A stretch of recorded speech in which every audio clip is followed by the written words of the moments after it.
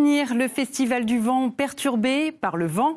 La finale du Master international de cerf-volant de Portiragne dans l'Hérault n'a pas pu avoir lieu car contrairement aux idées reçues, piloter ces engins de haut vol est loin d'être un jeu d'enfant. C'est un vrai sport. Sébastien Banus, Manon Bazerque. Pour un bon Festival du vent, il faut du vent, mais pas trop. Et aujourd'hui, sur la plage de Portiragne, c'était vraiment trop. Car au bout des fils, ce sont de véritables Formule 1 que les pilotes doivent maîtriser. Et plus que la force de la tramontane, ce sont ces airs impétueux qui tuent le spectacle. Il faut être dynamique, essayer d'être vif pour pouvoir compenser ces rafales qui nous surprennent.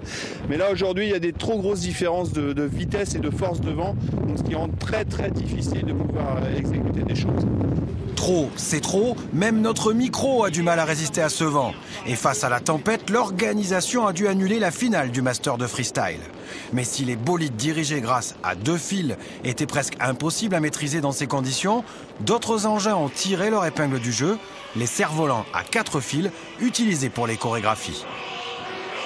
Et on peut régler nos positions suivant le vent, on peut euh, régler nos cerfs-volants plus à l'arrière, donc on a moins de pression par rapport aux deux lignes sur nos cerfs-volants, ce qui est plus facile. C'est vrai qu'on a plus de facilité que, à quatre ou à deux fils, vous l'aurez compris, maîtriser ces engins est loin d'être un jeu d'enfant. Les pilotes sont de vrais sportifs et ils participent à des compétitions dans le monde entier.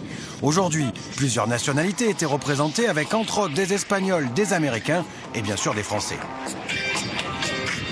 Qui sont les meilleurs? Euh, sans être chauvin, ce sont les Français. Alors on s'aperçoit qu'il euh, y a de très bons pilotes à travers le monde. Hein. On a la chance d'avoir en France des très bons euh, fabricants de cerfs-volants qui ont su développer des barres de carbone, des nouveaux profils de voile. Et puis on a développé beaucoup de formats de compétition qui a permis aux pilotes de beaucoup progresser. Et donc aujourd'hui, que ce soit en team, en adiv ou en paire, et dans toutes les catégories, les Français en général trustent tous les podiums.